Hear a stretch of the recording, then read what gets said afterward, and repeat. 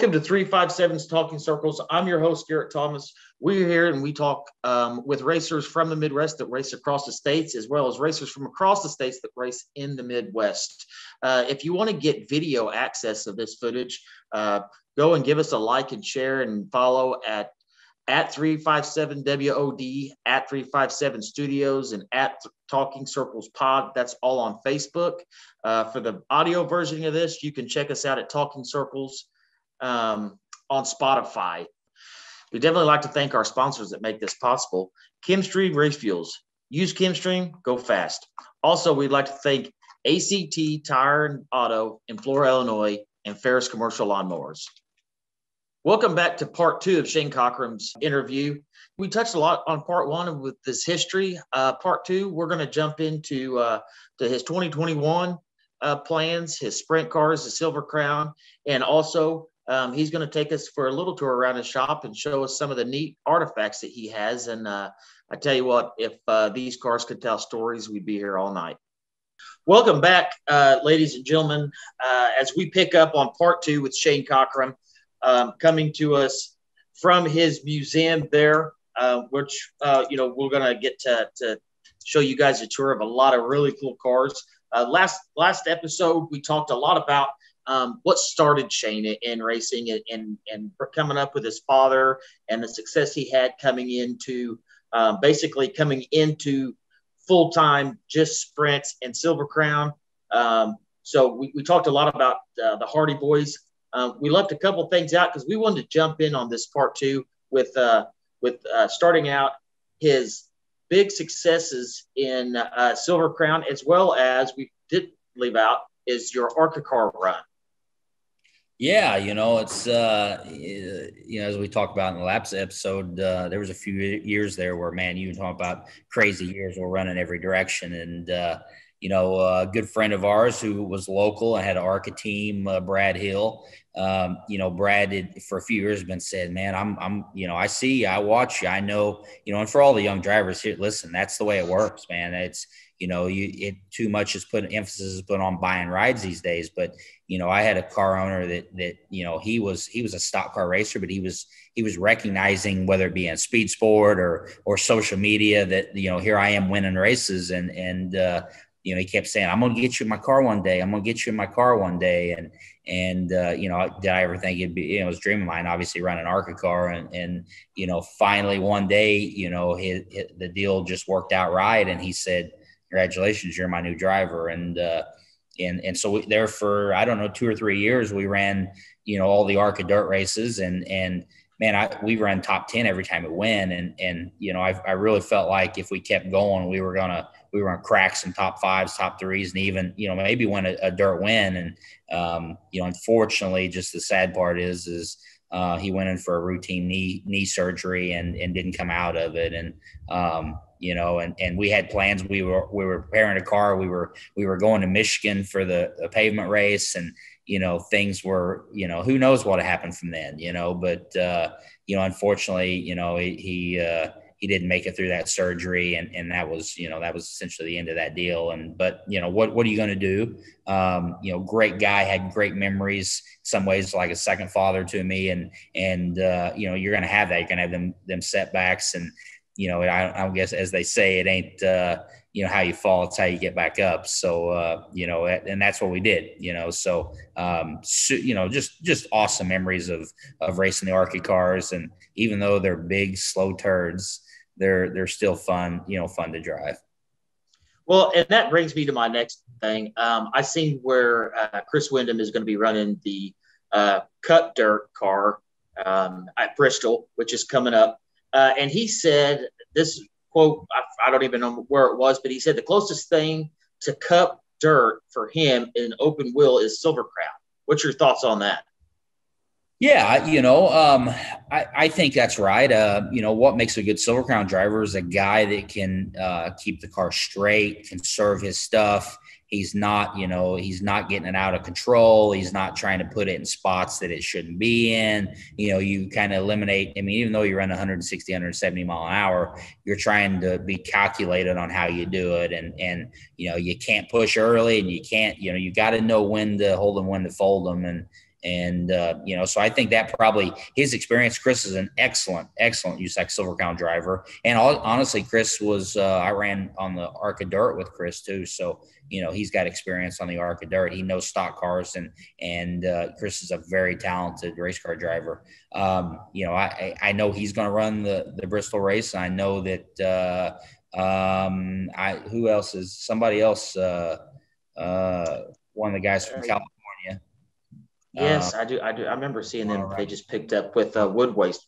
Wood. Yeah. Was it Wood yeah. Brothers? That yeah.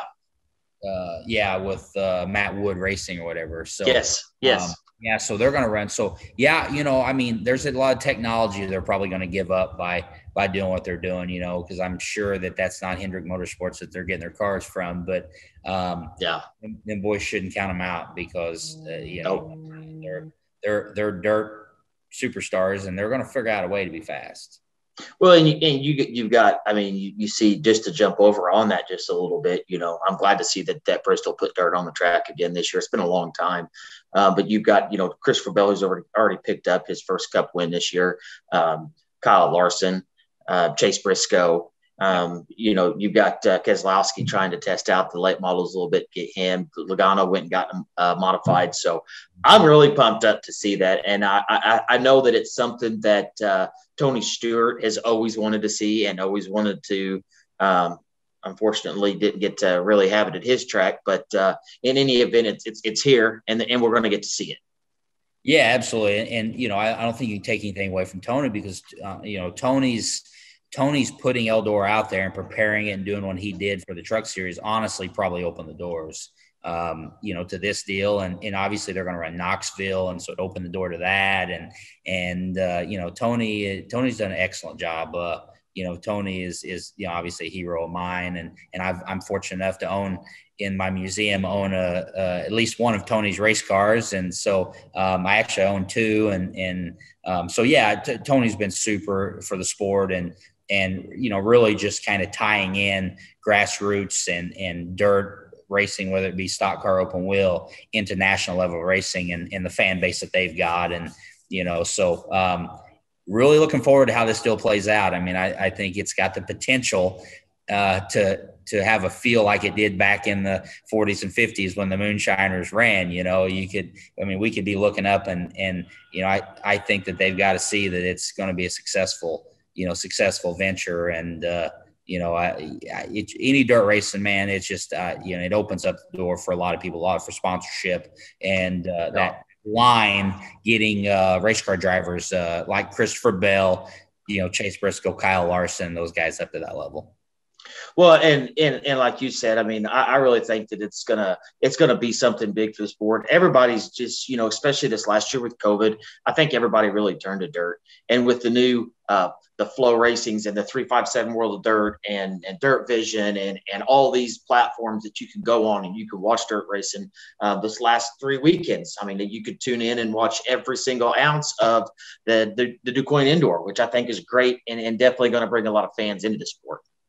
Yeah, for sure. Uh, you know, the FloRacing 357, I mean, no matter where you look, you're getting good updates, you're getting live video, you're getting, you know, uh, streams of races and, and yeah, yeah, I mean, it's, it's been huge for, for the dirt market and, and will continue to be, um, you know, I think those, those guys are kind of going to be on the ground level of, of, you know, what motorsports is going to be from here on out. So, um, you know, uh, there's, there's a lot of little kids watching them. There's a lot of little kids watch yeah. those videos, uh, you know, watch, uh, podcasts like this and you know and and you know hopefully like i said we can we can give them some ideas help them out and uh, you know one day we're or when we're old geezers we'll we'll be able to sit back and watch some of these kids shine and and impress us you know that's definitely something we've been looking into uh, uh I know Tyler Rust and, and myself and Cody have talked, and we, have we've, we've actually looked into to doing some really good things with the kids. Um, we've enjoyed the interviews that we've had with the kids, and it's just such a fun time to to to get in get them involved. I got little ones coming up that that's what they want to do. So, but you've got you've got your your silver crown going. But what a lot of people don't know, I mean, people that follow you on on Twitter and on Facebook can see it. But you run actually run a sprint car in Indiana for. Um, you want to let us know the 24P? Yeah, so uh, Jamie Michelle Paul, um, you know, they're they're uh, you know, funny story is, you know, he he's got a real job, but what he's really he's a miniature donkey farmer. They are.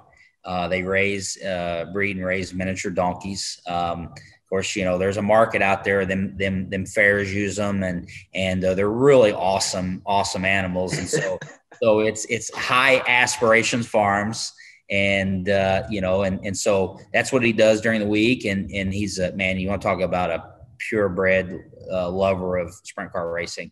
Um, you know, he always, I tell you what, I mean, I, will knock on wood when I say it, but, you know, we've been going since 2016, and I don't know that we've ever fell out of a race due to mechanical issues. He's a mechanic by trade. And, and so, you know, just super people always look forward to going on Saturdays uh, with them. They're from Ohio. Obviously, I'm from Illinois. So, you know, they're making a three plus hour trek. I'm making a three plus hour trek, and we're meeting in the middle. And and uh, you know, and every week, you know, and we're doing it most Fridays, almost all Saturdays, some Sundays, and um, so I, I, I load up. I'm out of the firehouse at noon on set, on Friday, and uh, on the way to Indiana, and we spend uh, Friday, Saturday, and some Sundays in Indiana with them. So uh, def- definitely family.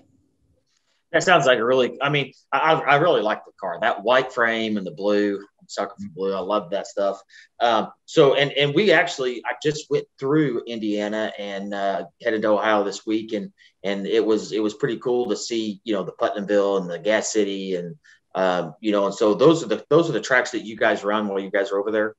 Yeah, so we we run uh, you know the Bloomington, Bloomington, Kokomo, Gas City. Uh, obviously, been track champion at Lincoln Park Speedway, which I love uh, Terre Haute. You know, I tell you what, Indiana sprint car racing is Texas high school football.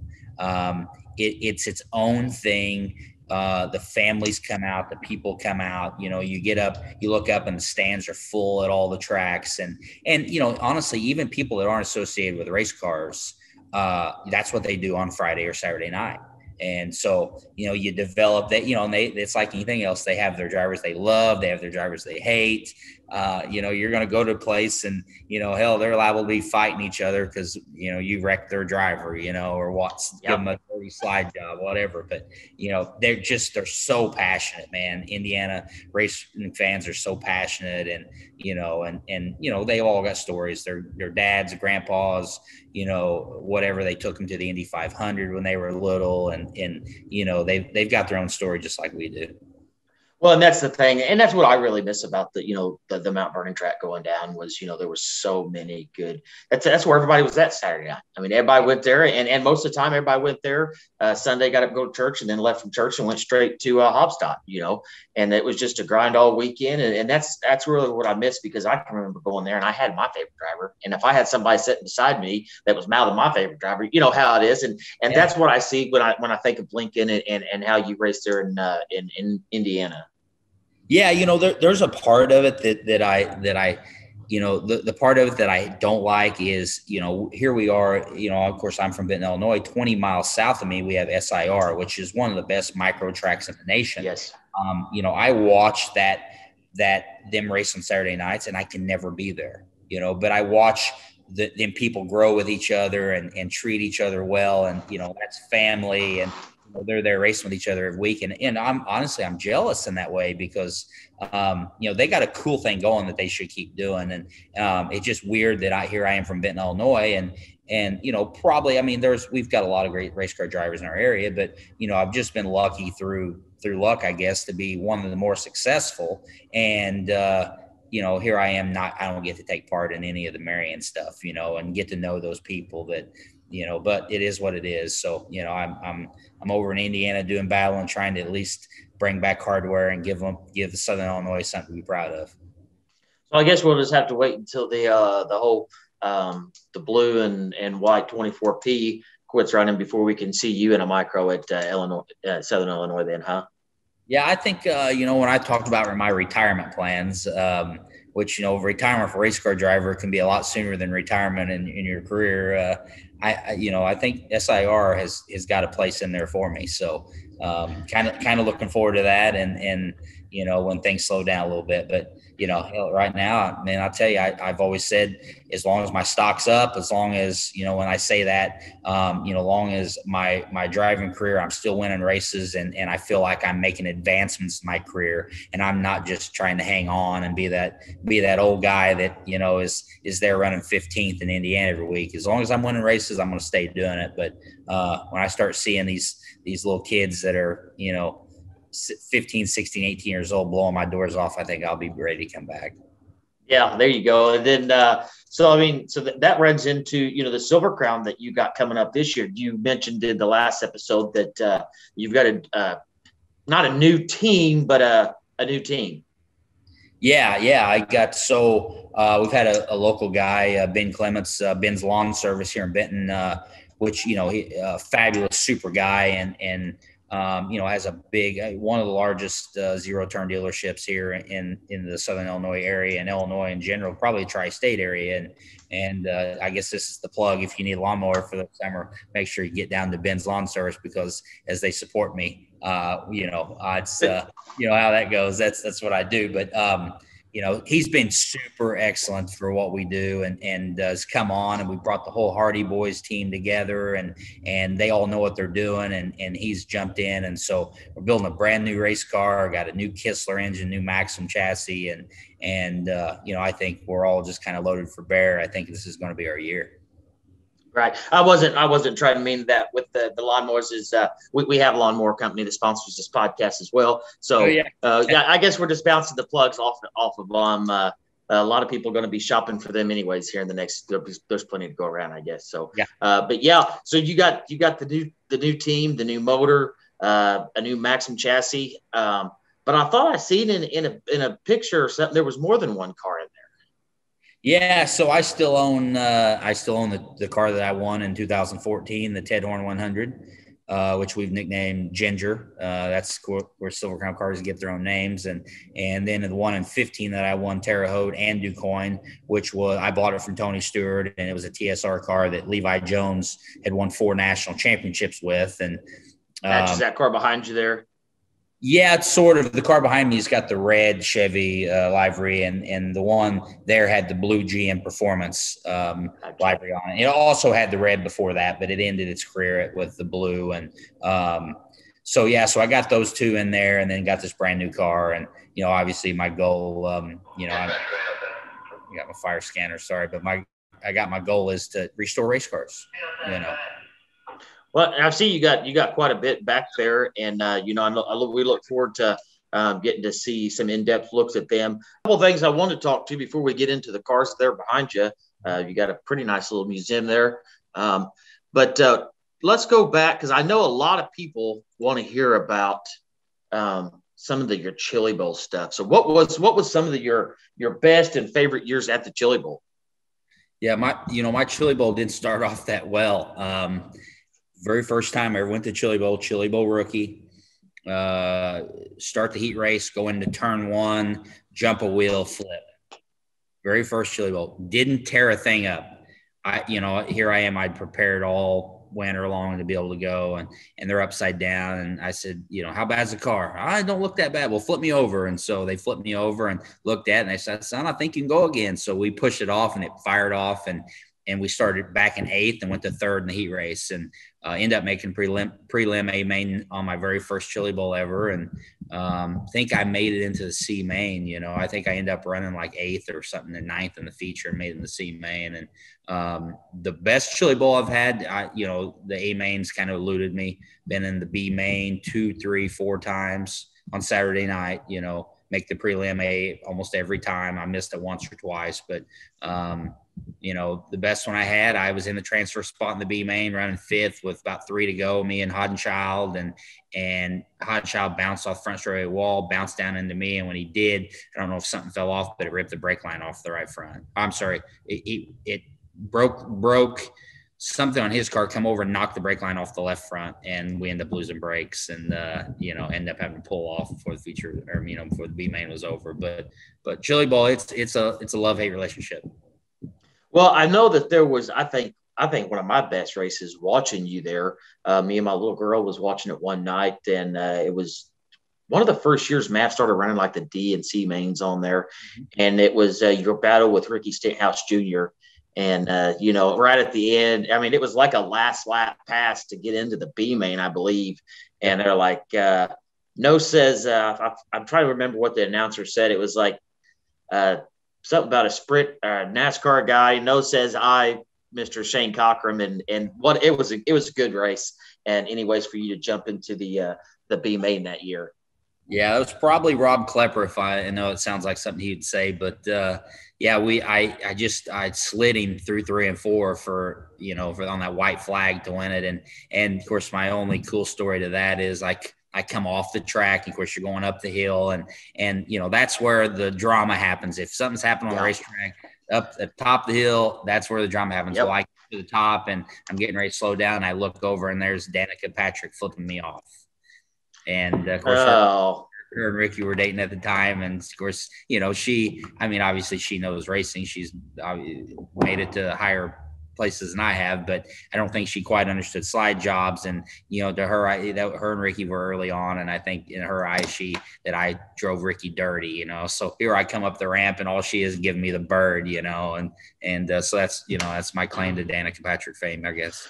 Well, well, and maybe that's why, uh, maybe that's why she broke up with him. She's like, you can't even make it out of, out of B main. Shane Cockrum's coming from Illinois and beating you, so I'm done with you. She moved on Green Bay Packers, I guess. So yeah, uh, yeah. that's fun deal. What's what's one thing that uh, that you that you've not raced or a big race that you have not raced in that you want to? Well, I you know I think I want to do the Knoxville Nationals. Um, you know, I, would like to do a little more wing car racing, although I don't know if you know my age and and bravery. Uh, you know, quite fits in at the right point in my life for wing car racing. But, you know, then again, I guess as, as a lot of uh, us non wingers say, uh, them wings, that's just training wheels. So, um, you know, it seems to seems to be just a cushion for when you crash and don't hurt near as bad. So I don't know. That's that's kind of my goal. I'd love to run Knoxville and and uh, you know, I, I, don't know. Maybe, maybe I'll tell you what. If I die tomorrow, I don't know that I have any regrets. I'm I'm you know I'm appreciative for everything I've got to do and and you know, I, I am I'm, I'm happy. Maybe I've just settled in. I'm happy doing what I'm doing. I, I and you know, I, it's easy just sit and think about what you don't have, but it's you know, uh, to me, it's a lot better to appreciate what you have. If you had to pick one super fan that you have that buys all your T-shirts and that follows you around, who would it be? Uh, I would have to say probably Casey Ryan. yeah, well, I was going to go with that too.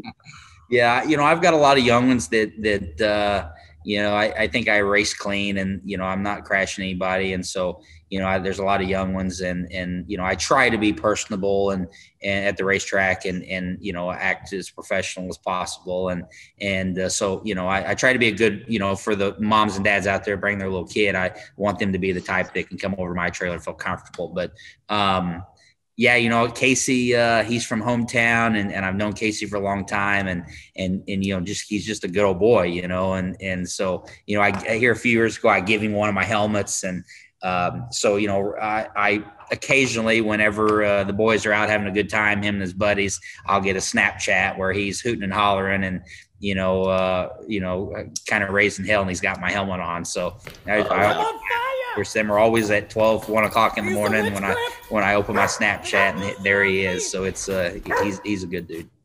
Uh, you know, he he said that he asked me. He's like, "Well, if you need a T-shirt, you get one." I used to have one of your T-shirts, and actually, um, I got to thinking about today, and I guess it's been so many years, I forgot where it was even at. Um, but it was the year you won a Silver Crown race at DuQuoin. I was in the stand with a little guy, and I bet him your T-shirt, uh, and and sure enough, you won and so he got the T-shirt. I guess, huh?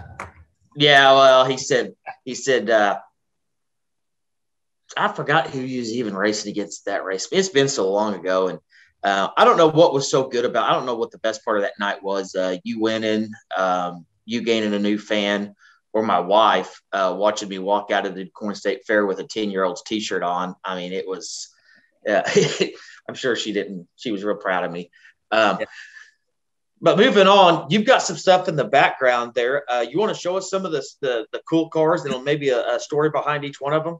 Yeah. So, you know, eh, here's what I, since I, you know, not, I haven't been keeping race cars in my shop, which I have a different shop for race cars. Um, um, I've kind of my passion has always been uh, historical motorsports, and and uh, you know I know of course growing up with my dad, you know racing in the '70s, I got in '80s, I got to hear a lot of the stories, and you know he was fortunate enough to start his racing career in non uh, cage cars, and and then come up and into cage and and race with all the greats. So you know I, am just here's I guess my thing is uh, I, I say passion led me here. Um, I love the old stuff. I love the you know and there were some them them boys or, or men I should say they they they played for keeps and and you know I think we all owe them a lot of credit for the reason why we're all here and, and doing what we do today. So um, you know as as some of those owners, them guys that's had them race cars have gotten older.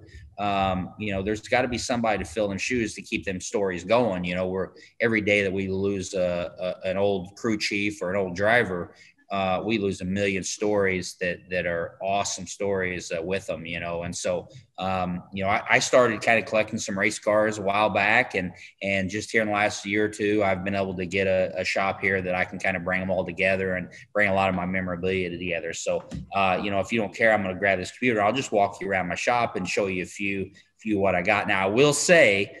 I've got five or six in here. I've got three or four more I'm restoring, and I just got one today. Haven't seen it yet. Haven't got it. I can't reveal what it is, but um, it, it was probably will become the most prized possession.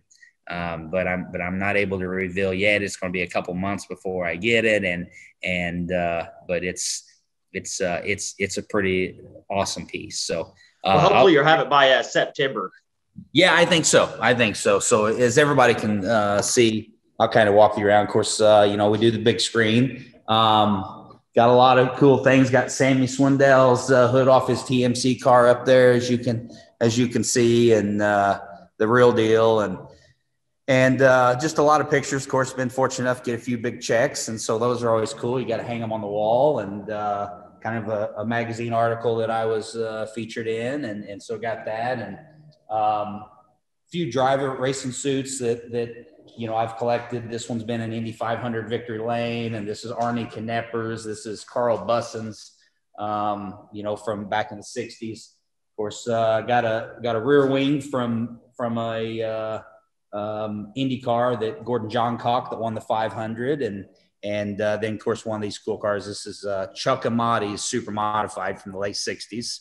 Uh, him and my dad were arch nemesis during the 60s. They raced each other a lot. And so, you know, back in the 60s, that's what you ran. And, and that's that's what was was made popular here in Southern Illinois. And uh, of course, I was able to pick up here a few years ago the Carl Bussen 1960 sprint car. Uh, of course, you know, as you can notice, it's got no roll cage on it. And uh, these boys, they played for keeps. Carl actually lost uh, multiple fingers in this car in a wreck in 1964 in Florida. Um, still got all the same stuff in it. I've got his driving suit, got some memorabilia on the wall. Still talk to Carl quite a bit, and he's he's super pumped that I've got it, and I'm kind of sharing stories. And um, of course, probably a little more, uh, you know, a little more out of my wheelhouse stock car, but still just a really a badass piece. Is is this is one of AJ Foyt's last Winston Cup cars? It's complete, has a oh, motor wow. in it. This uh, this car actually what in 1991 uh, went to the Indianapolis Motor Speedway for a tire test and is given credit to be the first Winston Cup car on the Indianapolis Motor Speedway. Wow. So it's like I said, it's it's complete. You can actually you Google, you'll find this car all over, and uh, there's actually a diecast car of this car. And what what kind of makes this car special is because he took it and did tire tests, and it ran the 1990 and 91 Daytona and Talladega 500s. But um, when they did it for this tire test and all that stuff, they didn't put any contingency decals on it. So even the the diecast car of this doesn't have any contingency decals. Uh, of course, I got a lot of memorabilia up on the wall. Some the AJ Foyt panels. This 37 car here, it's a, a 1986 uh, Adkins McQueen car. This thing for through the 80s and early 90s uh, ran all over at all the USAC events. Uh, Johnny Parsons, Jac Haudenschild, Stan Fox, Jack Hewitt, Stevie Reeves, Ricky Hood, Andy Hillenburg. I mean, there's all kinds of Hall of Fame drivers that have driven this car. Uh, this car was even owned by AJ Foyt. Um, AJ had it and, and owned it through a couple seasons and, and was able to, uh, you know, so I, it's kind of cool. I got two pieces of, of rolling stock that AJ owned. Uh, one of my latest here is uh, I was fortunate enough. Me and Levi Jones are good friends, and and uh, Levi was able to get to me Levi and Tony Stewart's 2007 USAC National Championship car. Um, so this is a pretty awesome piece, uh, pretty much complete, just the way they raced it. Uh, you know, and so it's it's here. Matter of fact, it spent the last three or four months in uh, well, I take it back last year. It's been in the Indianapolis Motor Speedway Museum, and uh, it's been there for quite a while. So we were able to get it here, and uh, you know, so I, I kind of take care of it. But you know, as you can see, I've got we've got a little bit of everything in here. I've got uh, a, a, nice bar that our buddies all came out. We we shoot uh, you know shoot the shit and talk racing and uh, some video games. We challenge each other on, and of course back behind here uh, you'll see I've got uh, the Ted Horn Championship trophies, some Ted Horn winning trophies. Um, first checkered flag from DuQuoin Ted Horn, a Sumar Classic trophy. Uh, I've got one of my dad's old uniforms. I got, if you can see that orange piece up there on the wall, that's actually the hood off of Jeff Gordon's uh, Silver Crown car when he went completely through the wall at DuQuoin in 1990.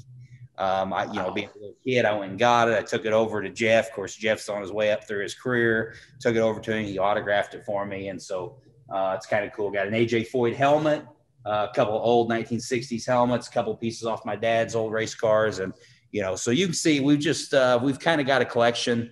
Um, you know, we've we've just been kind of got a little AJ Foyt uh, special edition uh, go kart, and um, so you know we we really just we've got a lot of cool stuff, and and we're adding all the time, and um, you know the the hope is that uh, here as we you know move into the next racing season, we're going to have uh, maybe uh, I know Jack Hewitt's called me. I know Johnny Parsons called me. I talked to Tom Bigelow a lot and and some of those legends. We're going to have a deal maybe before DuQuoin where we get some race cars down and, and do a vintage deal, uh, have a barbecue here and and uh, maybe put the microphone in those guys' face, let them sit, put some chairs out, let them tell some just some awesome stories. So, um, you know, about how it was and how it is, and really, you know, so we can all appreciate what the history's been.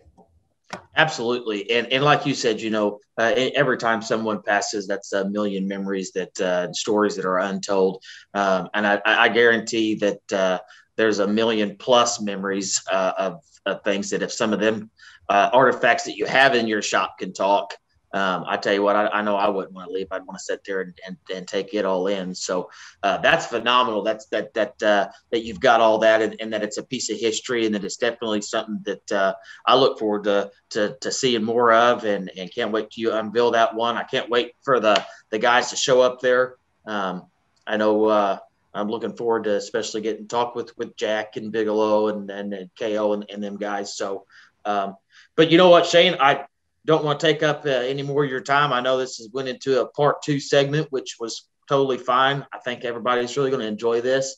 Uh, I just want to tell you thank you for uh, for uh, coming on the show and uh, being our second guest and, and and inviting us into your shop.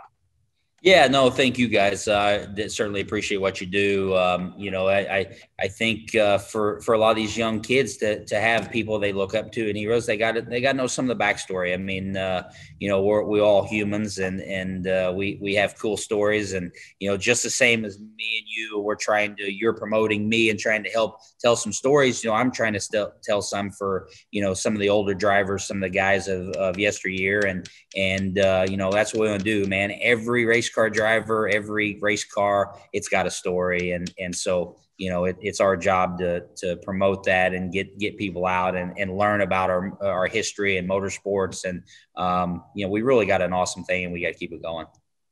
Yeah, and I, I am looking forward to a lot more stories that we've got coming up. I know we've got a few more guests that's uh, scheduled to come up here. That's going to have some some interesting stories, to, you know, to say the least. So, uh, but with that, uh, we sure appreciate it, and uh, good luck this year in your 2021 driving the 24P. Good luck at your Silver Crown and uh, everything else that you get involved in. Yeah, no doubt. Thanks, guys. We'll uh, see you in Victory Lane.